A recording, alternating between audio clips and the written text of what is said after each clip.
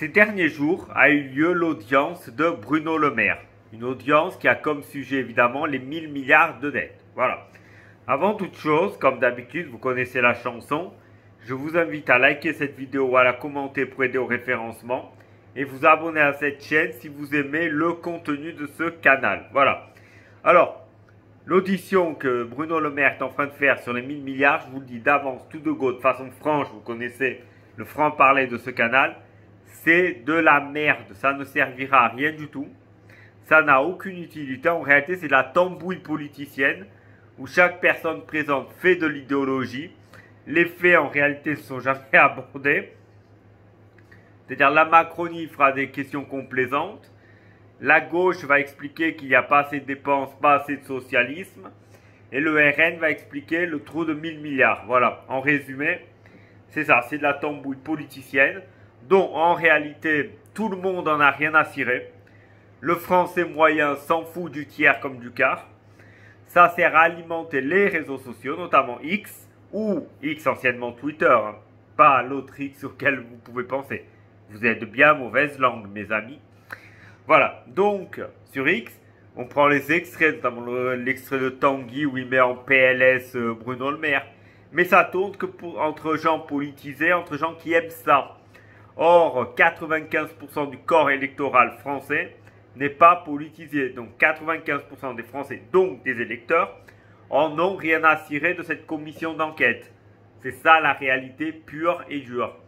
Ça sert juste à alimenter le microcosme Internet et la bulle des gens politisés qui se crêpent le chignon entre eux pour voir qui a raison.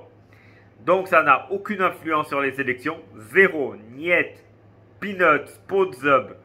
Il n'y a aucune influence, rien, zéro, encore une fois.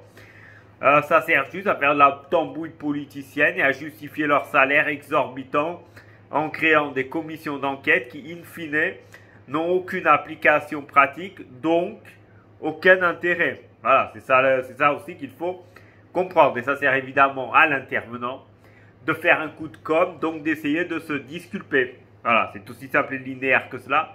Donc, je le répète ici, l'audition de Bruno Le Maire, c'est de la merde, c'est inutile, ça ne sert à rien. Vous n'apprendrez rien de cette audition. Et en résumé, dans 15 jours, tout le monde l'aura oublié. Moi le premier. Voilà. Donc en réalité, ça n'a strictement aucun intérêt. C'est une tambouille politicienne de plus. Tout le monde s'en branle. Le français quotidien, il s'en fout. Le français quotidien, ce qu'il veut, c'est des solutions pour améliorer son pouvoir d'achat, pour remplir son frigo, avoir un emploi et des perspectives d'avenir. Un projet politique. Voilà ce que les Français veulent. veulent. Ces tambouches politiciennes et ces commissions d'enquête, tout aussi inutiles que Sandrine Rousseau pour le féminisme, ou Thaïs Descuffon pour améliorer euh, la France, évidemment, et les relations hommes-femmes, évidemment, c'est tout aussi inutile. En, réalité, ça ne sert à rien. Voilà. Rappelez-vous la commission d'enquête sur le souverainisme, sur la souveraineté. Il y a eu aussi sur le nucléaire. En fait, il y en a eu plein. Quelle a été leur application pratique et leur utilité pragmatico-objective? Rien. Zéro. Pot de zub, encore une fois. Que dalle. C'est ça la réalité. C'est des commissions qui servent à rien. Qui servent aux gens à se paloucher, à se faire, à se, s'entendre parler aux oppositions à se gargariser en essayant de mettre en PLS quelqu'un, quand en réalité ils savent très bien que ça n'apportera rien au débat contradictoire, ni d'un point de vue électoral, ça n'aura aucun intérêt, bah, déjà parce que personne ne les regarde. Et encore une fois, les extraits qui sont pris ne vont intéresser que les gens politisés. Donc en réalité, les gens convaincus. Hein. C'est pas comme l'escroc de Bardella qui nous dit euh, oui, euh, les meetings euh, vont servir à convaincre les, les non convaincus. C'est à ça que sert un meeting. Faux, faux, faux.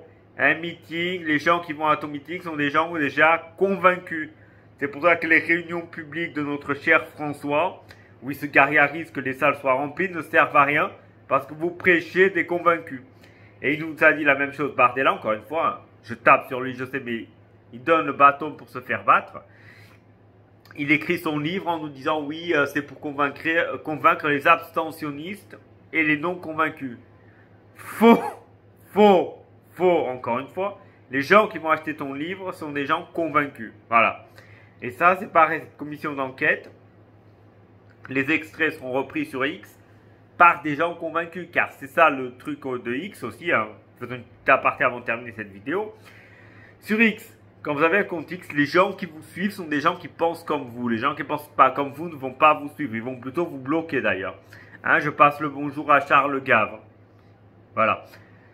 Donc, en réalité, vous n'êtes que convaincu par des, vous parlez à des gens déjà convaincus. Donc, ça n'a aucun intérêt pragmatico-objectif. Zéro. Ça n'a aucun sens.